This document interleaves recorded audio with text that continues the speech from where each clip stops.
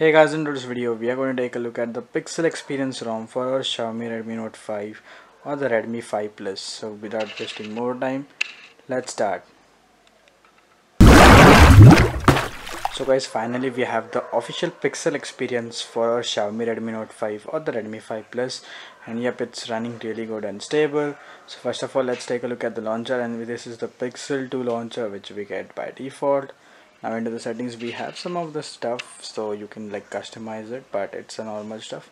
Not much into the customization. I get all of the Google apps pre-installed so no need to flash separate G apps. You can see we get Chrome Play Store uh, we get this photos app as the default gallery and all of the stock apps are not like the lineage AOSP apps. These are the Google apps which you can find on the Play Store.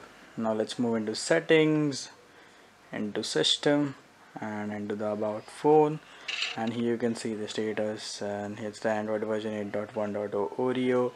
This is pixel experience means all of the stuff which is present on a pixel it's there and you can see uh, the kernel version. And we also get the may 5 security patch and after 6 to 7 days or in a week the June patch will be merged. So yeah you can expect a update soon in six days. So yeah if you wish to update it uh, you can like install it and then update it via OTA. so you got the pixel XL wallpaper and the google feed integration. So you can just visit uh, or open the google app.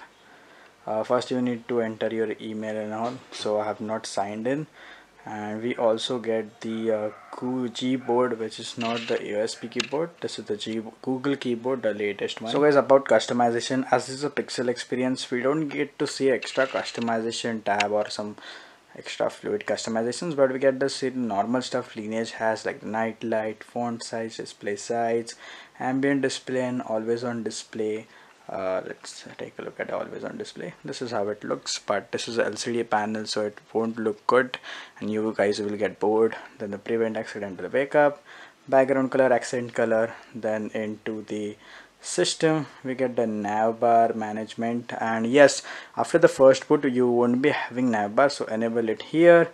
Then we have the power menu the volume rocker stuff and also gestures lift to check phone. I don't know why it's disabled and the jump to camera stuff. So yeah only this much. So guys fingerprint is working in this ROM so let's try. And into the security and location. Already set up a pin so let's enter it. Oops.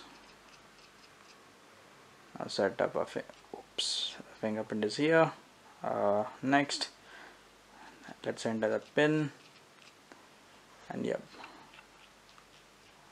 It's uh, like normal ROMs done. And oops where is the navigation bar. Okay so yeah you can see guys this happened. So and the navigation bar is gone. So let's again go to system buttons manage navigation bar. And why disabled I don't know.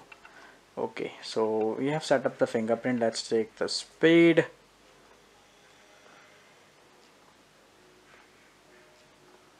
yep it's normal like other ROMs and yep you can test it by your own after installing it.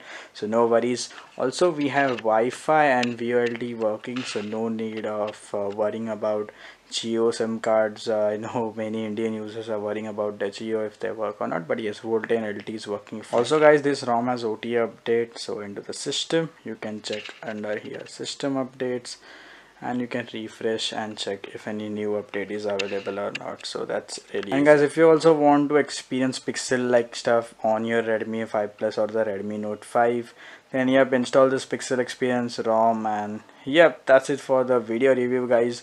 Now let's move to the installation. So yep for the installation just power off your device. Now guys in order to install the pixel experience rom on your redmi note 5 or the redmi 5 plus just boot your device into recovery mode. So press the volume up and the power button. Now uh, keep it on until it boots into recovery mode. Now go to the wipe section up advanced Dalvik system data and cache. And I'm using the official TWRP recovery. So I have given the links down below in the description. I have made a video on how to unlock the bootloader as well as install the recovery. Now just select the pixel experience. No need to select G apps because the pixel experience uh, already has G apps pre-installed so no need to uh, install separate G apps. That's a great thing.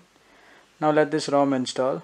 And guys the ROM auto rebooted and this is the boot animation. And yep this is how to install the Pixel Experience ROM on your Xiaomi Redmi Note 5 or the Redmi 5 Plus. So if you guys have liked this video press the like button. Also subscribe for more videos down below. Also you can press the dislike button if you don't like the video. And also post the feedback down below in the comment section. Also if you need any help post down below in the comment section. And goodbye guys. I'll see you guys in the next video.